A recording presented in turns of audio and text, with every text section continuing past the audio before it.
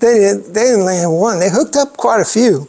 Uh, probably the time I was there for was about three hours. They probably hooked up a dozen, but they never landed one. Those fish just, you know, throw those, those hooks like nothing. It's just, but it's fun to watch them jump out the water, though. That really is fun. Okay, so now I'm going to put my GCC hat on, Gulf Coast Council, uh, and talk about some of the issues going on with fishing in Louisiana. First of all, uh, a little bit of background. The uh, FFF has been in existence since 1964. Um, and it's, I first became a member in, in 1990, and in 1996 I was asked to be on the Southeastern Council Board. That's when Louisiana was in the Southeast Council. And uh, I asked the question, I said, uh, you know, does FFF have an executive director? Do we have some mechanism to raise money and everything else, like TU and DU and CCA and all that? And you thought I insulted their mothers. It was like, Catch, that's not how we do things around here.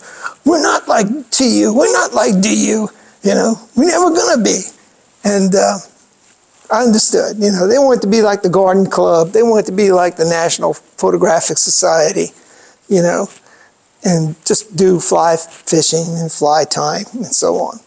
Conservation they did do, but it was a small part.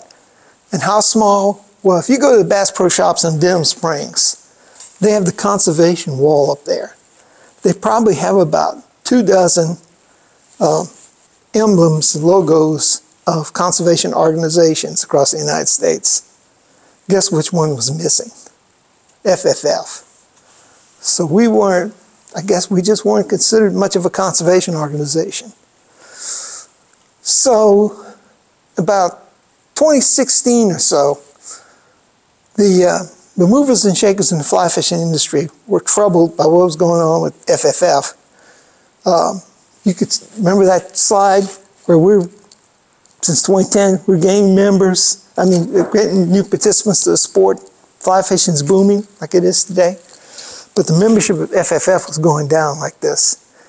And the annual um, revenues were going down. We were in the red about six to nine thousand dollars each year. So they said, well, we need to change some things. And so they hired a consulting firm. They came back, they did surveys.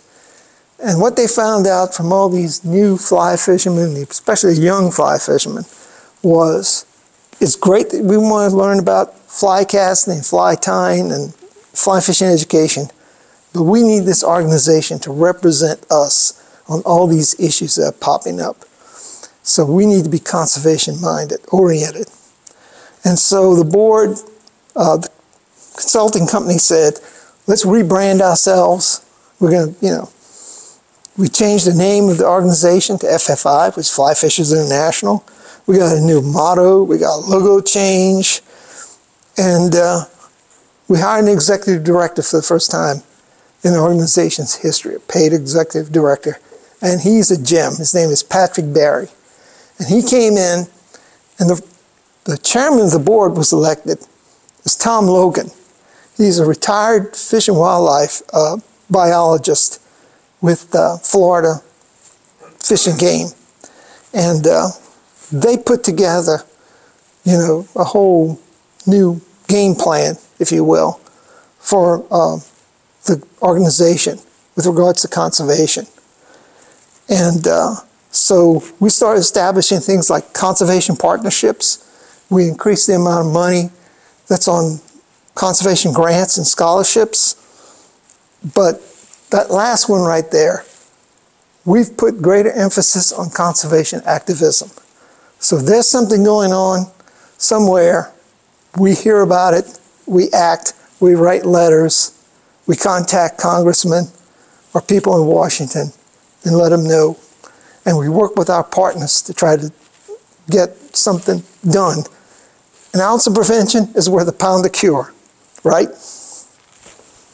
Can I ask a question about that? Well, no, go ahead, go over the slide. Okay.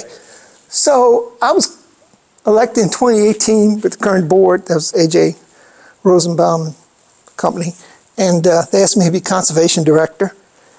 And so what I did, I was trying to think of what to do with you know our conservation uh, policy and everything, and I just basically copied what these geniuses at, at FFI were doing.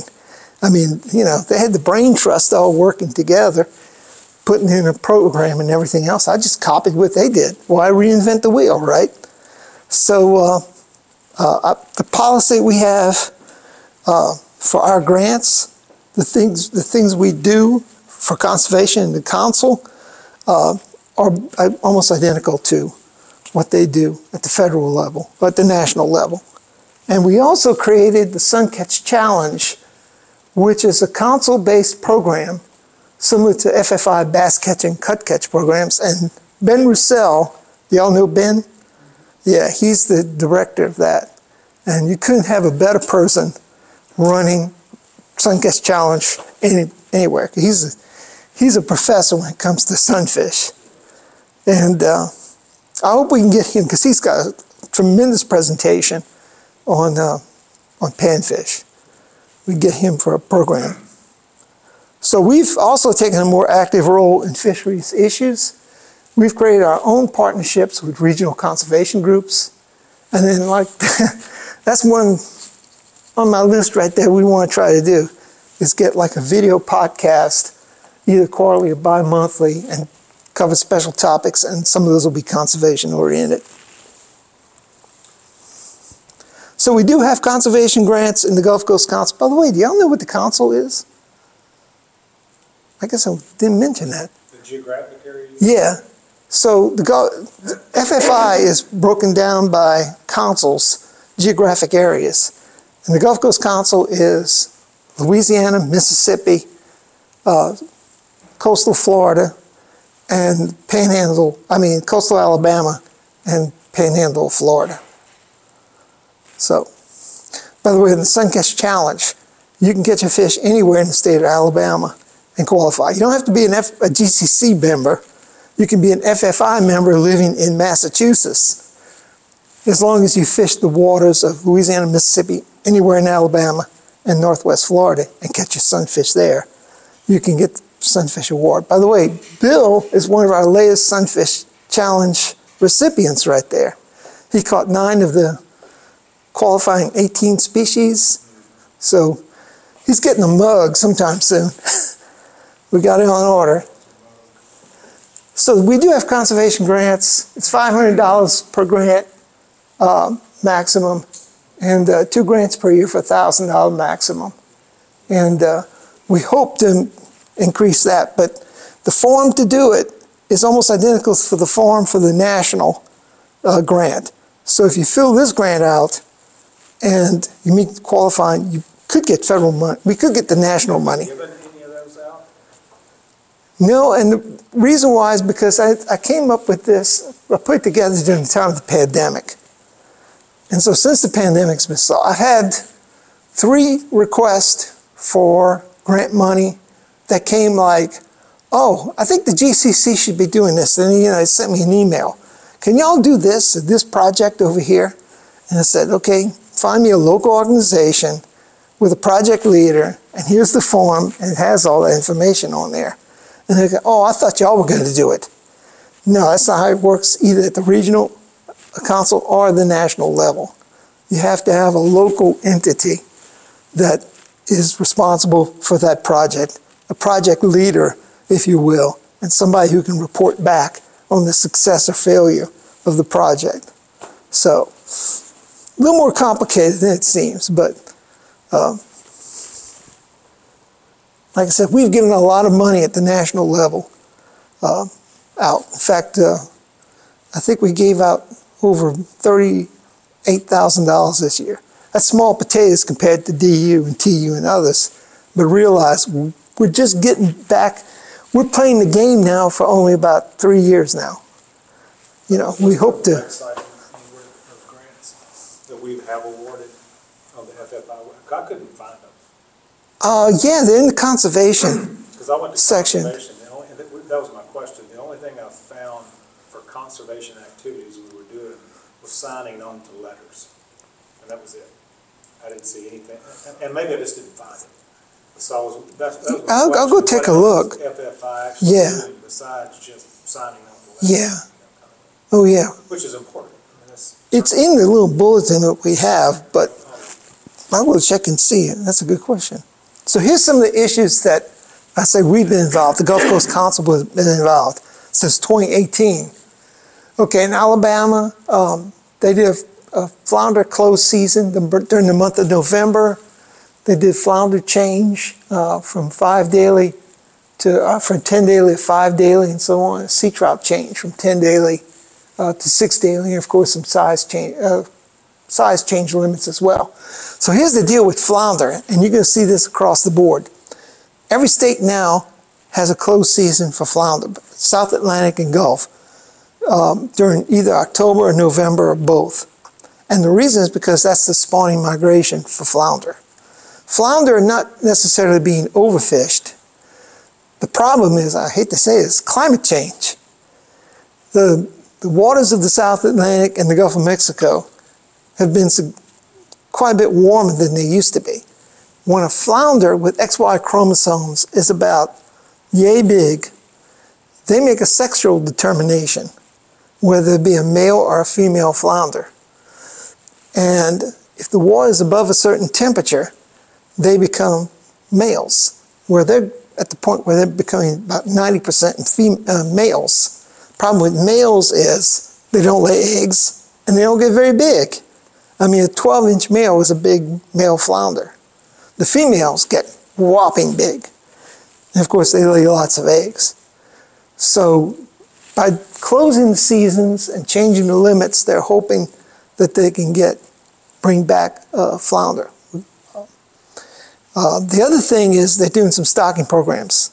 Alabama stocks uh, flounder now. And at the ICAST, I talked to a representative from Alabama uh, Outdoors over there, and he said that uh, they're seeing quite a bit of success now in their flounder recruitment. So here's uh, Florida Panhandle. There's some changes that took place, and we also got involved in crappie in Mississippi on uh, the four north uh, uh, reservoirs up north. Then we get to Louisiana. Now, all those I just mentioned, you know, I got involved with the, writing letters and making contacts with partners and contacting local clubs and everything else and getting support. And pretty much passed, you know, what the biologists wanted, we got. Well, the biologist said, I, I should say, we got. Louisiana, different story. We struggle because we've got politicians. Not that those other states don't, but we got some politicians that just don't get it. Um, we did manage to, to close season flounder here in Louisiana. Menhaden is one we've been fighting. We've had a bill now every year. It gets through the House easily. It gets through the Senate and the Senate Natural Resources Committee uh, chairman, who has been uh, receiving quite considerable donations from one of the big Menhaden companies. He tables it to the end of the session. At the end of the session, you have to put the bill into motion. But the problem is, at the end of the session, you've got like 100 bills trying to go through at the end. So the bill never gets to, to the governor's desk. And there's even a question whether the governor will even sign it. He's said before that he'd likely veto the bill. So we're trying to be the only, we're the only state right now that doesn't have a buffer zone for menhaden or a quota. So we have 90% of the menhaden harvest in the United States. Um, 100 million pounds to be exact per year. And it's all close to shore. That's the problem. So this is all in state waters, but not just in state waters. I mean, there's videos out there, you can go find them on YouTube, where they're right there on the beach harvesting menhaden. Problem with that is, guess what, where spawning speckled trout and spawning redfish are during the summer months. They're out there spawning and feeding on menhaden. They depend on menhaden for food. And uh, so we're not just killing by bycatch these large speckled trout and these bull redfish. We're also taking the food away, which lowers their fecundity and so on. So that's an issue that's going on. We've been pushing for a half mile from state shoreline. They finally passed one regulation that's a quarter of a mile, which is ridiculous. Like I said, every other state's at least a mile and has a quarter. We don't. Um, spotted sea trout, y'all heard about that. We're trying to reduce the, uh, the limit on that because it's being overfished. And red drum is the same. So what's the problem with redfish and speckled trout?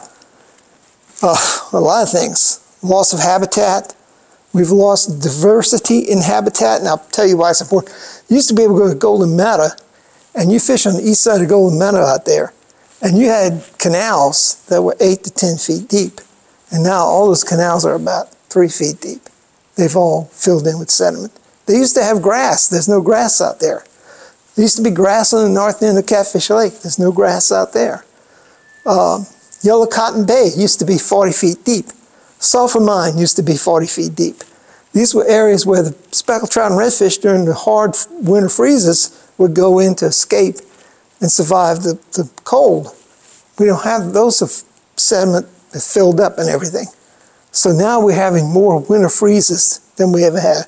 Not as big as the 1989 event, but more small ones. And so that's a problem as well. I mentioned about declining forage. When you remove all that food from those spawning fish, it's uh, significant. Um, freshwater discharges and low salinity levels. We've had record high river water for eight years of the last 10 years on the Mississippi River. last two years have been uh, down, like this year. And so they're starting to see speckled trout back in Lake Pontchartrain and Lake Borgne. They need that salinity because for their eggs, uh, they both need about 20 parts per thousand for the eggs to float and hatch. Uh, increase in anglers and angler effort. When the current regulations were, were written or set up was in 1988 and 1990. And uh, we've almost tripled the number of anglers we have, saltwater anglers, since then. And of course, angler efficiency. You know, we have more electronics and everything else than we've ever had. So here's, uh, here's the redfish escapement rate. The two things about redfish, uh, redfish, for one, we harvest before they reach maturity. So this is where escapement rate comes in, is how many of these fish will escape the harvest and get to the spawning stock. And uh, we're in bad shape, as you can see. We've gone down quite a bit. But the good news is we can rebound that pretty fast uh, if we make appropriate changes in reduction of harvest. But here's the one that hurts. Um, this is the spawning potential ratio. And it's the number of fish available to spawn as if the race of population, as if they were not fished at all. And there's a conservation standard that's set by the federal government on there of 30%.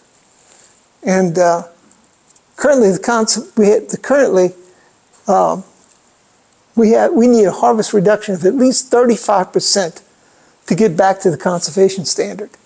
We're actually right now above the standard, but this is like a car going down the highway and there's a bridge out. We have to brake now. Um, if, if we wait till we get to where the, the bayou is or whatever, we're going to go into the bayou. We have to start braking now in order to avoid that. And so that's why you see that curve is going to go down. Things are going to get worse before they go get, get better again. Uh, and there's a long period of time in terms of recovery for spawning potential ratio. So the biologists at Wildlife and Fishery put together a whole series of charts. You can go out there to their website and you can see all this data for yourself. But here's the easy one right here. Now, just before we were talking about this with the biologist and trying to figure out what we were going to do and what, you know, options we were going to recommend. Um, the Louisiana legislature passed a resolution unanimously to ban harvest redfish over the slot. In other words, bull redfish. So anything over 27 inches and ban that. And like I said, passed unanimously. So that gave the commission what they needed to make some regulation changes. It also made it easier on us because if you have that one fish over, it becomes much harder uh, on the creel. You have to have a small slot limit and you're going to have to have two fish per day to get to your reduction uh, goals. So by eliminating the bull redfish uh, harvest, we were able to work with keeping a little more redfish and maybe a bigger slot. But this is the harvest reduction uh, as it applies up there. I don't know if you can see it, but uh, you can see the 35% right here is the very uh, minimum the biologists say we have to do. If we do that, we can recover SPR in 27 years. If we go to 40%, we can do it in 12 years. And uh, if we can do it in, well, 13 years, if we do 45%, we can do it in uh, 11 years or so. So it was easy for us to make a determination on that. We said, we can't wait 26 years. So our recommendation to the commission was to do it, was a proposal. We had two proposals, in fact. Um, one of them was 18 to 26 inch slot, three daily creel, no overslot. That was a 45% reduction. As you can see, escapement rate we get there, the conservation standard for that in two years. SPR, we get there in 11 years. NOI is put forward by Wildlife and Fisheries was an 18 to 27 inch slot, four fish creel, no overslot. Only a 30%, 6% reduction. That would have taken three years for escapement rate to meet the conservation standard and 26 years to meet the SPR standard. So at the hearing earlier this month, the, uh, we had over two dozen uh, guides, fly, uh, mostly fly fishing, in fact, guides come to the commission meeting and get up and speak. And there were others like myself and several others who were in support. And they got up in there and they said, this is ridiculous. We can't wait 26 years to get. And of course, they told their own, you know, anecdotal stories about how the fishing's gone down from what they used to do. You know, they used to see 100 redfish a day. Now they look if they see 10 a day and so on like that. And uh, they said, we just can't wait that long.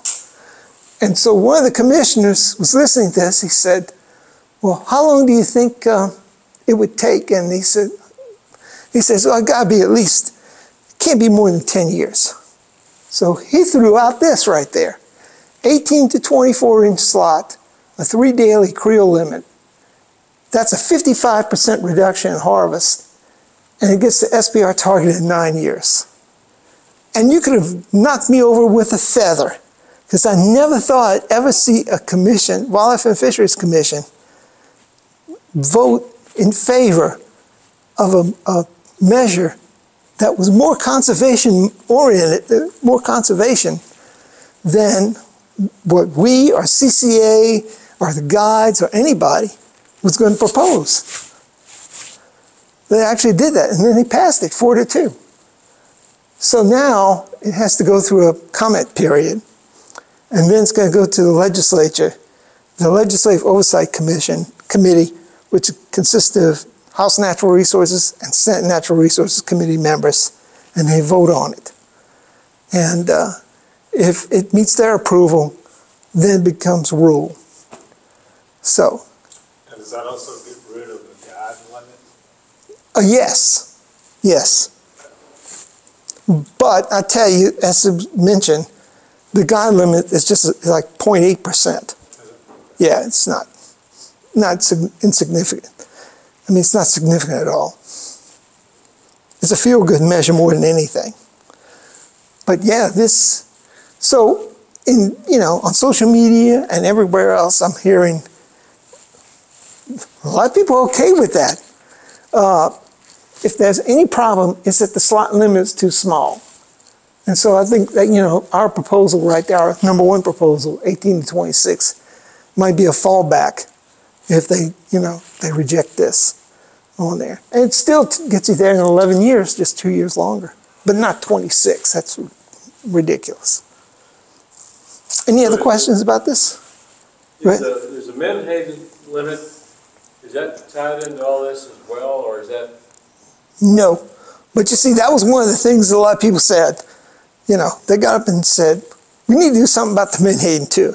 And they want to do something about it with this notice of intent, which is, you know, a proposed rule. But they couldn't because it has to be announced prior to the meeting. If you're going to do something like that, you're going to do an NOI, a proposed rule, you have to announce it, you know, uh, a week or so before the, the council, the, the commission meets. is the Menhaden industry owned by foreign entities? by any chance? Yeah, yes, Tremendous lobby, I imagine? yes. I'm told that they tripled their number of lobbyists in the last couple of years to fight this legislative move uh, to get it passed. You never done that, I Uh. can't, when the plant's running, you can't breathe. What do they do with Menhaden? Uh, fish oils, you know, um, the cat food, just a wide variety of things. You think it stinks. That's right. So there was no traction on the speckled trout changes, really? Oh, I'm gonna get to that. Oh, I'm sorry. Okay. So this is just a, uh, for FYI, what are the regulations for redfish in other states? Um, as you can see, uh, we're the only state that has more than three, except for Georgia. But Georgia's having a problem. They're below the conservation standard as well. And so there's a proposal to limit, to dr- drop it to three fish per day also. Texas has something that they wa- allow uh, one fish, oversized fish a year. You get a tag. And so you can keep one oversized fish a year. And Don Dubuc was talking on his radio show out of New Orleans, and he was talking about, well, this is going to kill the state records for redfish. You know, if you can't keep a big redfish like that. And so I asked Jason and the guys at the Wildlife and Fisheries, I said, can we do something like Texas? And they said, well, we can't because Louisiana Creel, which is the program they do for offshore fisheries and apparently includes redfish as well, uh, has to be approved by uh, NOAA. And it had some restrictions on tagging fish. So we could do it, but they'd have to go through this whole approval process and everything. So that may be something that, that gets done down the line, but it's not going to happen, you know, within the next couple of years. So um, I will say something else. Texas, South Carolina, and Alabama stock redfish, juvenile redfish, redfish fingerling. Texas, you can see stocks 19 million fingerlings per year. It makes up about 9% of their harvest. So it does have some impact. I've heard rumors that they're going to try to may, look into maybe a hatchery for Louisiana. Again, we'll see where that goes. So this is speckled trout, and it has the same problems that we have with, with redfish. And uh, it's been going down now for some time. The conservation standard is 14%, and right now we're at 9%. So we're in the hole. And I can tell you from personal experience, it ain't nothing like it used to be, anywhere. Even the spots that are still good. Um, just, it's been terrible. Uh, so the good news is because speckled trout grow so fast and they mature so young, any uh, changes we make, we can see instantaneous uh, improvement. But it's going to have to be quite a bit of uh, change because you can see right there, we need a, a harvest reduction of at least uh, 15% to get to the conservation standard. So this is what um, wildlife fisheries, the biologists at Wildlife and Fisheries came up with, this chart right here. And they said, okay, um, tell us what you want for creel limit and size limit and everything else. It's got to reach at least that 15% mark right there. So uh, we said, let's do better than 15%. Okay, why do we always want to be right there, teetering on the edge? Let's do like most states do and have an optimum yield fishery. Okay, and we said 19, 20%. So we proposed 14 inches, uh, 15 fish limit. As you can see right there, we get to 19% SPR goal. Uh, we got what we wanted. Okay, first of all, CCA did not get involved with this early. And we were the only ones. We went out and advertised it to the world. We even got published in newspaper and magazine with our proposal. So we did a bang up job on that. People were contacting Rodney uh, Shoemaker, is it? State representative from Leeville. He didn't, yeah, he's never involved in saltwater uh, thing. He said he had more people contacting him about moving the limit to 14 inches on there than, uh, and he said, speckled trout. so we did a bang up job on that. And uh, they made a proposal of uh, 13 and a half inches. Well, I don't know why. They did some kind of uh, 13 and a half inches instead of 14. Um, and it goes to the, it passes the committee, commission, it goes to the Legislative Oversight Committee and gets shot down by the Legislative Oversight Committee. And CCA had taken the position, and uh, you know, I was told they lobbied, CCA lobbied the, the uh, Oversight Committee. They wanted to keep a 12-inch minimum size limit, and their reasoning was, if you make it 14 inches, you're going to have a 90% harvest of females only. As you can see, that's not right, but uh, but if you did that proposal right there, which is 12 inch minimum, 15 fish daily, with two only two over 19 inches, uh, your SPR goal is 14%. What is the conservation standard? 14. Yeah, so 14, you're going to get to 14, which is the standard. You're going to be right there again. Okay, that doesn't make any sense, you know? Uh, Wildlife and Fisheries Commission proposal, like I said, was 13 and a half right there. And that would have been 17%, and that would have been safe. So now the commission has to do another proposal to the, uh, uh, for the committee going forward. They have to amend their original NOI notice of intent. Uh, well, it didn't come out good at all. What happened there? Um, what I was going to trying to highlight was that uh, Louisiana spotted sea trout study. When they did some sampling, they found that the three largest trout they had, all over 27 inches, were all males. So male trout can get big. Yeah, they don't grow as fast as female trout. They grow slower, but they can get really big. That line right there is nothing more than just a mean average. If you look at the actual data points, like in Condre's study, you'll see a cloud. And that's what it is, it's just a cloud of data points. So you can have plenty of big fish after, after 14 inches. That's that green line right there. And that's the argument we made is every other state, there are 11 states that manage for spotted sea trout. Every state but Louisiana has a minimum size at least 14 inches.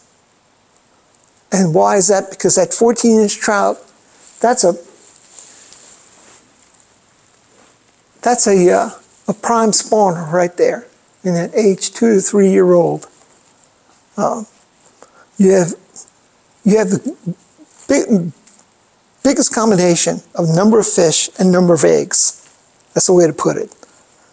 So you want to try to protect those fish as much as possible.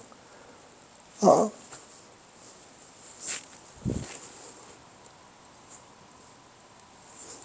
any questions? I covered a lot of stuff right